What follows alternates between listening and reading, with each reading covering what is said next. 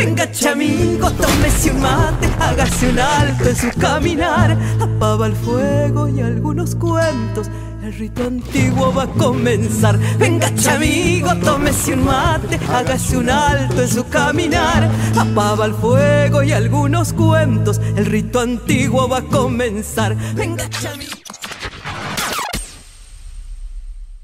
Siempre hemos estado conectados y nos conocemos hace mucho tiempo y me alegra mucho que, estemos nuevamente, después de, tantos años, eh, encontrarnos en este camino de la música. Realmente, realmente eh, sorpresa, sorpresa grande porque fácil, ¿hace cuánto no nos, no nos encontramos? Y más de 20 años. Más de 20 años.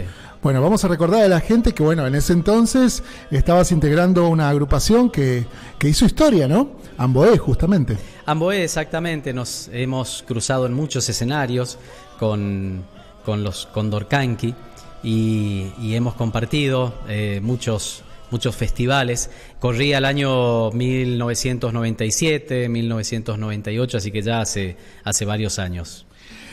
Eh, para aquellos que no recuerden, porque bueno, han pasado alguna generación, ¿no, Mariano? Sí, charlábamos.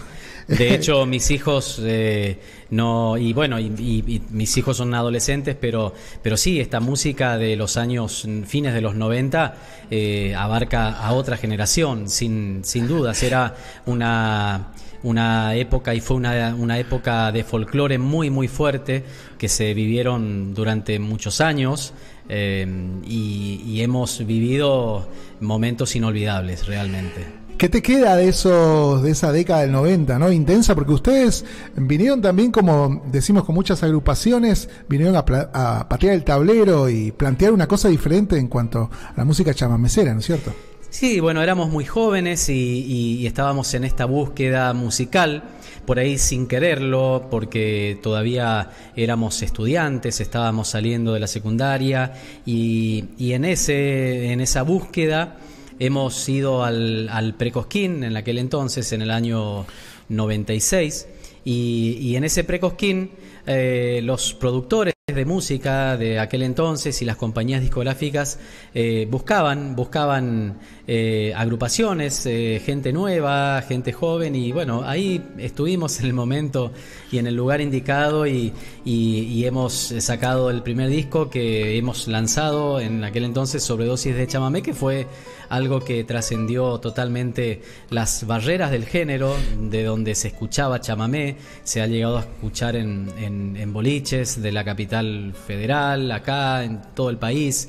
Eh, realmente fue, fue una época muy linda, que la recuerdo con mucho cariño. Fue, fue muy raro porque en ese entonces em, eh, había un folclore joven que estaba surgiendo y, y, y, bueno, teníamos los medios que teníamos, ¿no? Estaba Radio Nacional, Radio Folclorísimo, qué sé yo, eran siempre los mismos medios. Y Amboy había cruzado, había saltado el cerco, ¿no? Había llegado a otras FMs donde mm, no necesariamente pasaban folclore y habían cruzado un límite que ninguno de las otras agrupaciones vimos hasta ese entonces, ¿no? Antes de, antes de Nocheros y demás.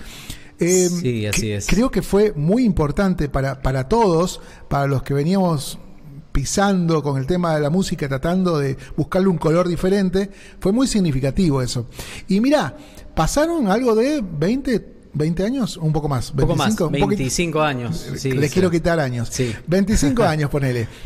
Tu carrera ha, ha, despegado también, ¿no? Desde el tema solista. ¿Cómo fue salir de, de toda esa, esa, esa, fuerza impresionante de, de, difusión y de trabajo, de exposición, este, para encarar un trabajo solista. ¿Cómo fueron los años siguientes?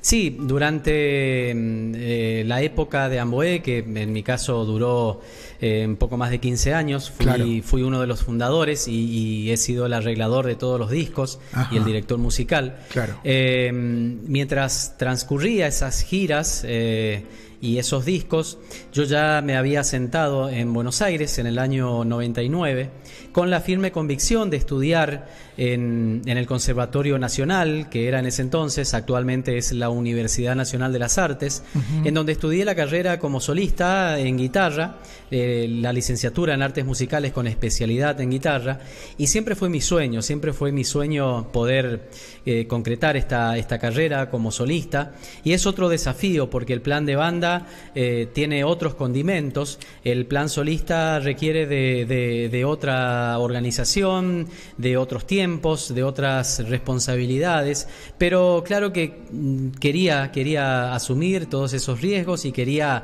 eh, firmemente, desde muy pequeño, desde muy pequeño, eh, te diría desde mi adolescencia que, que siempre he querido estudiar la guitarra en forma académica. Siempre admiré los guitarristas flamencos, la música española, eh, la música clásica. Y bueno, descubrí un mundo en, el estudio de la música académica, la música clásica me apasiona. Y bueno, después de, varios años, eh, ya eh, culminando con Amboé, que hace más de 10 años que que, ya no integro la banda, comencé con este camino, con este camino como solista, en donde he transitado también eh, etapas de docente, he sido director de cultura de la ciudad de Goya, de la municipalidad de Goya, eh, dirigí una orquesta infanto-juvenil en, en mi ciudad. Eh, soy docente, soy docente en diferentes eh, instituciones, en diferentes niveles. Y bueno, esta, esta carrera, este sendero solista, la verdad que me, me, apasiona y estoy con, con, muchas ganas de, de seguir transitándolo. Interesante lo que venís planteando, ¿no? Este tiempo, sobre todo este último tiempo que hemos tenido por ahí, eh, todos un espacio más para poder reencontrarnos, ¿no? Este tiempo de pandemia al que hacemos referencia tiene que ver con las actividades y cómo se han reinventado cada uno, ¿no? En tu caso, eh, nosotros que por ahí no somos del palo de las redes, eh, para algunos casos, y esto citando a los amigos de los Sacha, eh, la chacareta santiagueña, toda la gente de eso de los 90, tampoco nos, habíamos adaptado mucho ¿no? a esto de las redes. Pero en tu caso has llevado a cabo un trabajo intenso como docente, te he visto armar este, tutoriales, participar, hacer mucho clip de entre casas, que bueno, sonaban bárbaros como lo que acabamos de ver. Este, ¿Cómo te trató la pandemia, aparte de esta gran actividad? Bueno, eh, ya venía de, desde hacía un par de años antes de la pandemia eh, investigando todo este nuevo mundo de, las redes sociales, de las plataformas. Y bueno, tienen muchísimas cosas eh, buenas cuando uno las focaliza en, la actividad que sea. Y en mi caso, bueno, pude reemplazar lo que en, aquel entonces, del tiempo que hablábamos, existían las compañías discográficas, eh, las, eh, los representantes, los managers. Bueno, hoy uno lo puede hacer desde su propia casa. Totalmente. Y tal, tal fue así porque eh, durante la pandemia pude terminar de grabar mi primer disco como solista, lanzarlo a todas las plataformas digitales desde mi casa, lanzarlo a todo el mundo. Genial. Eh, en, caso de, en el caso de los tutoriales de guitarra, yo recuerdo que en mi época de estudiante iba con, el, con las fotocopias a la fotocopiadora a sacar. Eh, lo sigo haciendo porque uno sigue con, con el papel leyendo las obras, pero eh, era más difícil al no tener plataformas digitales en donde uno poder ver tal o cual eh, ejercicio guitarrístico, ejercicios de técnica. Bueno, era todo, eh, era más eh, pasarse de boca en boca o de manera presencial, lo cual dificultaba o demoraba un poco la, trayectoria mm, como estudiante.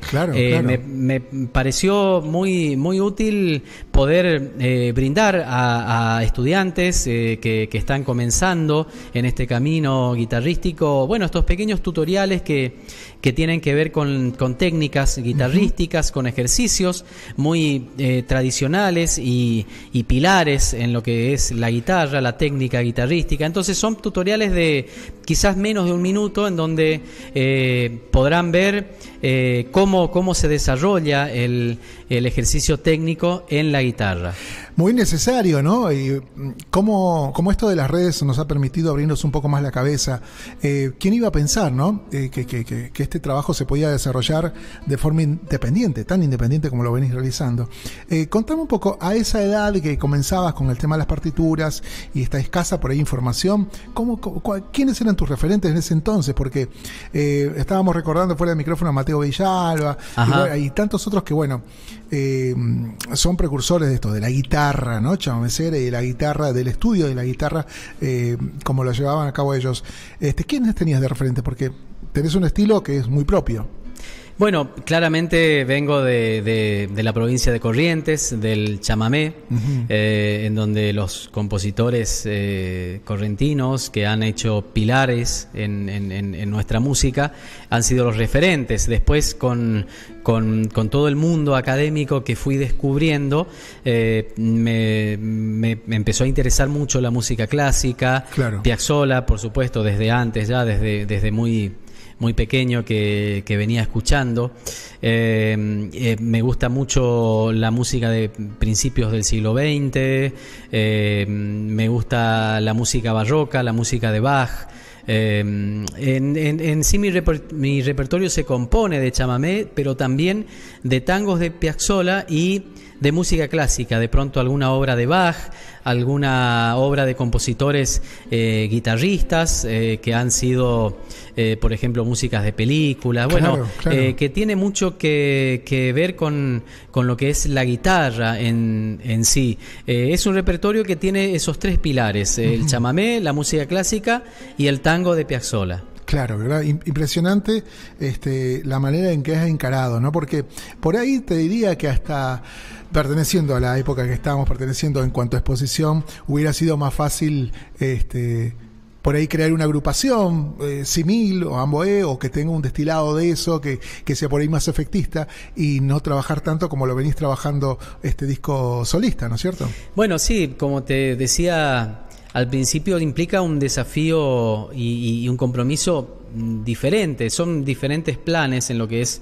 una banda, en todo sentido, en las relaciones, en lo musical, eh, en, la elección del repertorio y bueno, con sus pros y sus contras, lo que significa ser solista. Pero, pero bueno, es algo que, que desde pequeño, desde niño, quise quería, era mi sueño eh, poder concretar. Y la verdad que lo disfruto mucho porque, porque puedo elegir libremente mi repertorio, eh, puedo, puedo trabajar eh, utilizando mis tiempos, dosificando mis tiempos. Es decir, es, es una manera distinta que se disfruta mucho. Es un, un productor post pandemia, y porque tenemos poco tiempo de reacción, ¿no? Porque pasaron la temporada de lo que serían los festivales y estamos trabajando marzo, abril y podés llegar a hacer una evaluación de lo que está ocurriendo en cuanto en materia folclórica, en materia artística. ¿Cómo, cómo estás viendo vos la situación de la música folclórica hoy? Bueno, me parece que la pandemia eh, son dos cosas. Por un lado la pandemia y por otro lado la situación económica. Me parece que, que, son dos golpes muy, muy duros que de a poco se está empezando a reactivar los espacios de música, eh, los festivales, por ejemplo, en mi ciudad, que está la Fiesta Nacional del Surubí, muy próxima a realizarse, no se ha realizado durante dos años y bueno, ahora este año, por suerte, se puede concretar. La fiesta ya es un hecho, es una realidad. En dos semanas comienza eh, la fiesta nacional del Surubí y, como esa fiesta muchas, muchas y, bueno, creo que, que, eso es muy bueno no solo para la gente que tiene ganas de, de volver a disfrutar de esos momentos de festivales, de compartir en familia, sino también para los artistas, que verdaderamente fue muy duro, muy duro poder pasar la pandemia y también es duro reactivar eh, los conciertos en vivo. Totalmente, totalmente y justamente hablando esto de reactivar y de plantear, porque creo que, no sé si estarás de acuerdo, pero creo que con esto de la pandemia y la por, ahí la actividad estancada que teníamos estos dos años permitió poner a todos en un foja cero, ¿no? Arrancar todos de nuevo y, escuchando las propuestas. Se ha sumado mucha gente a escuchar folclore. Se ha, se, ha, sumado gente en la radio, acá lo vemos, que ha empezado a incursionar, a ver de qué se trataba. Entonces hay una nueva audiencia. Hay también nuevas propuestas artísticas. Mm, ¿Crees que por ahí esto de, arrancar de cero nos beneficia a todos? ¿O por ahí ves que van a surgir el que, el que pueda realmente hacerlo? Bueno, creo que un poco de las dos cosas. Eh, esto nos, nos mm, sirvió de mucho eh, para, para, ordenar algunas cosas. En algunos casos, quizás, bueno, eh, fue y fueron dos años muy, muy adversos que sin dudas hay que poner el corazón, el pecho, las ganas, la pasión por lo que uno hace para sacarlo a flote, adelante, porque creo que no solo los artistas, sino los espacios de arte, los espacios donde se brindaba música, se compartía con, con, con el público, muchos de ellos lamentablemente no se han podido sostener, no han podido eh, salir a flote y bueno, eso es muy, muy, muy triste. Y bueno, también hemos tenido la pérdida de, muchos artistas eh, con el COVID, eh, mm, artistas queridos. Bueno, creo que fue algo tremendo que nos tocó a todos y creo que nos puso, como vos decís, en foja cero y nos hizo dar cuenta que somos todos iguales, no importa la condición, no importa la raza, no importa el color. Creo que cuando algo de esto pasa, que era impensado, uno veía las pandemias solamente cuando las estudiaba. Eh, de las pandemias de la Edad Media. Eh, era impensado que en el siglo XXI esto pudiera ocurrir. Totalmente. Pero ocurrió y creo que tenemos que estar eh, muy alertas, seguir muy alertas. También pensábamos que ya no eran tiempos de guerras, que ya no podía ocurrir. Y sin embargo, en, en este siglo XXI estamos en guerra. Ahí hay dos países en guerra y eso me parece increíble y, y es por eso que no, no, no hay que, nadie, ningún país debe bajar la guardia o pensar que tal o cual cosa no va a volver a suceder. Creo que depende de todos. Y creo que la música es justamente el elemento fundamental que hace que contrarrestemos todo esta todo este odio, ¿no? Toda esta bronca, todo esta, esto de lo bélico, ¿no? Por eso hoy está Mariano Maciel aquí en radio, no lo puedo creer todavía, eh, mucho tiempo de, no vernos y ahora verlo plantado con una etapa solista, con un disco en camino. Eh, contanos, ¿qué estás haciendo justamente aquí en Buenos Aires? Bueno, estoy próximo a, a dar un concierto eh, dentro de, pocas horas. El próximo viernes 22 de abril a las 21 horas estaré dando un concierto en Mozart Bar. Es un lugar muy bonito en, en, el barrio de Palermo, en la calle Gorriti 3956. Un lugar de exquisiteces y diseñado para escuchar música. Es un lugar que se los recomiendo porque esta, este va a ser un comienzo de un concierto, de una serie de conciertos que habrán eh, sucederán durante el año. Ah, y esta cita es el, eh, este viernes. Em, podrán reservar en, sus redes sociales en Mozart Bar, que se escribe en las plataformas, está mos.art.bar es decir, desglosada la palabra Mozart Bar con un punto cada tres palabras. Eh, allí podrán reservar sus entradas, estará como invitado especial Gavino Chávez, un gran cantante chamamecero que viene de, raíz chamamecera, de cuna, de, grandes chamameceros. Eh, y bueno, será un momento realmente hermoso porque desde que se desató la pandemia que, los conciertos se han postergado. Así que es para mí un, un doble, doble placer y una felicidad inmensa poder volver a Buenos Aires después de, todo este tiempo. Gorriti 3956, eh, apunta aquí la gente de producción, es eh, el lugar donde vas a poder encontrarte este viernes con Mariano Maciel, Moss Art Bar, así figura. Em, acá tengo gente que está preguntando, em, ¿crees que Buenos Aires le debe espacios al chamamé?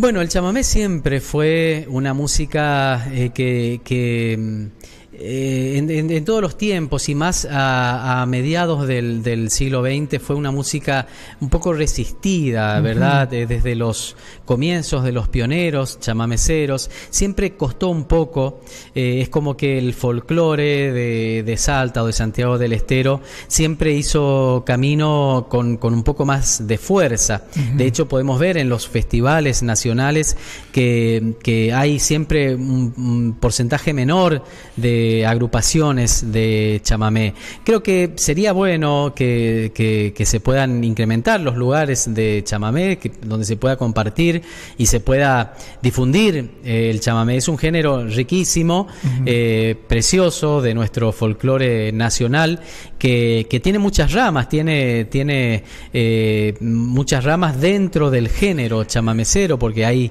tantos estilos. Estilos, chamamé para bailar, chamamé para escuchar, En el caso de Gavino Chávez, que es el cantor que va a estar como El invitado el viernes, tiene un estilo muy romántico para Ah, cantar. claro. Eh, un, un estilo precioso y es un género que venía ya desde, desde mucho antes, desde los hermanos Barrios, por ejemplo, eh, que son muy conocidos en el género chamamecero, del dúo Úbeda Chávez, eh, bueno, eh, y tantos otros que, que, que fueron incursionando en este, en este estilo Claro, claro. amoroso de lo que es el estilo chamamecero. Pablito Medrano está escuchando de Avellaneda, te envío un saludo grande. Está Muchas gracias, Pablo. Escuchando atentamente, dice, claro que me acuerdo de Amboé, tengo los discos. Bueno, ahí están, Qué bueno. ahí los fans están siempre, ¿no? Claro, en esa época se vendían discos, Claro. me acuerdo que hemos sido disco de oro Claro. eh, en el año 97 Sí, sí, claro. y bueno, eran, eran otras, otras épocas. Y pregunta eh, respecto a, a la movida, es un poco larga la carta, pero por lo menos dice, resumiendo, si recomendás a alguien o tenés visto, tu- tuviste tiempo de ver a alguien de esta nueva camada que te interesa musicalmente, ¿no?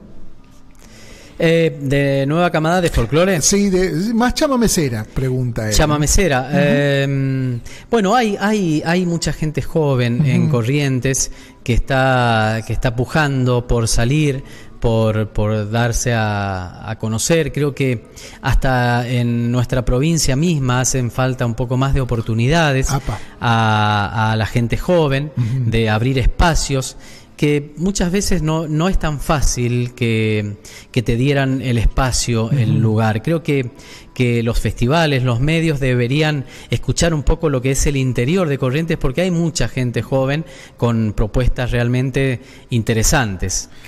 Ahí está la palabra de Mariano Maciel, palabra santa en cuanto a chamamé, y justamente tenés la oportunidad de este viernes eh, escucharlo en este Moss Art Bar, allí en Gorri- eh, Gor- Gorriti 3956, aquí en Cava. Mm, había quedado un, un tema de viajes, ¿no? Porque bueno, escuchando la guitarra y este clima muy intimista con el que seguramente vas a estar el viernes, es de exportación, ¿no? ¿Qué, qué quedó pendiente para afuera? Bueno, eh, en el año 2020, en plena pandemia, ya previamente, eh, tenía una, gira eh, establecida de 15 conciertos durante el mes de mayo, se iba a realizar en mayo del 2020 y debió postergarse por la pandemia. He tenido mi primera gira por Europa, en España y Portugal en el año 2019 y bueno, es una música, tanto la, la, la como del tango de Piazzolla, una música argentina que gusta mucho Claro. en Europa. En el caso del chamamé se emparenta mucho con la pasión y la energía que tiene la música flamenca, por ejemplo. Entonces llama mucho la atención lo que es el ritmo chamamecero, Claro, el ritmo del chamamé. Sí. Eso, eso capta mucho al público, cautiva al público europeo. Y bueno, sin dudas que, que esto a medida que se vaya reactivando, no solo eh, los lugares de, de música, sino también eh, los, los diferentes espacios eh, abiertos, los festivales. en Europa hay muchos festivales también, como aquí, como Claro, en Argentina. claro, claro, claro. Y y bueno, a medida que, que esta, toda esta situación vaya cambiando y mejorando, esa gira se, se, se llegará a concretar sin dudas. Así es. Rodrigo Zamudio te manda muchos saludos, felicitaciones gracias, por el Rodrigo. invitado. Allí está Constanza Massín, está escuchando desde Perú, es una argentina Qué que vive en Lima, te envía muchos saludos. Qué bueno, un beso grande, Constanza. ¿Dónde está? Eh, César Ambrosio está escuchando desde, desde DF, allá el Distrito Federal en México. Qué bueno, y acota César. algo, porque siempre es un oyente habitual, que, mm, y esto siempre lo menciona, pero bueno, ahora dice, tengo un chamamecero de ley. Eh, hay una similitud en cuanto a sentimiento, a forma de decir, eh, y, y- y- y algunos dejos que tiene el chame con la música del norte de México. Te- no sé si... Sí, claro, sí, sí, sí, con, con, con la música eh, mexicana sin dudas, Sí, sin sí, dudas. sí, Eh. La música mexicana... eh, que dicho sea de paso, me encanta. Eh, muchas de ellas eh, están en el mismo compás del chamamé, en 6x8, y, Sí, claro. y los vientos, y, y bueno, eh, es un estilo, el acordeón, Claro, sin dudas. claro. Los Es- dúos. los dúos. Los dúos, el trabajo con los realmente dúos. es una música riquísima, una cultura extraordinaria, con, con- con muchas pasiones, que sin duda se emparenta mucho a nuestra cultura correntina. Hay gente de todo lado, bueno, gente que suele eh, estar escuchando el programa Entre Mate y Mate, hoy Toto Albarracín desde Oberá, ya nos vamos a conectar este, a Misiones, pero bueno, gente, una buena opción para recorrer la música litoraleña este viernes. Entonces, estaremos a partir de qué hora, querido Mariano? A partir de las 21 horas. 21 horas, mira qué linda hora para pasarla muy bien aquí en Corrite 3956, Cava, y va a ser un tiempo de reencuentro justamente, ¿no, querido Mariano? Así es, es un reencuentro muy esperado, muy anhelado durante todo este tiempo. Fueron un poco más de dos años que que, estuvimos ahí en, la gatera esperando eh, por vivir este momento.